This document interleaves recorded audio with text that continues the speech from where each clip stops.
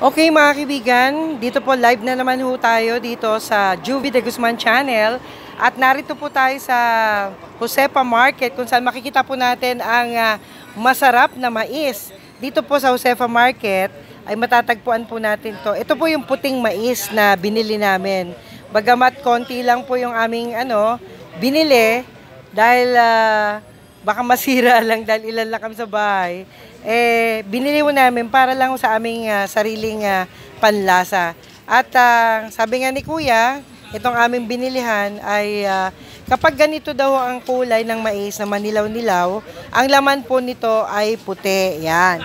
At kung doon naman ho tayo titingin, yung makikita ho ninyo, Ah, kung yan naman daw ang puting mais ang makikita natin na medyo malaberde, yan naman po, ang laman po niyan ay dilaw.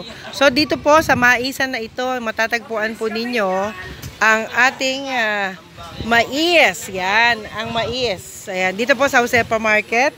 At ah, bumili lang ako ng 200 pesos, yun lang po yung kaya ko. Ayan. At si Kuya ay, Kuya, ano, what's your name?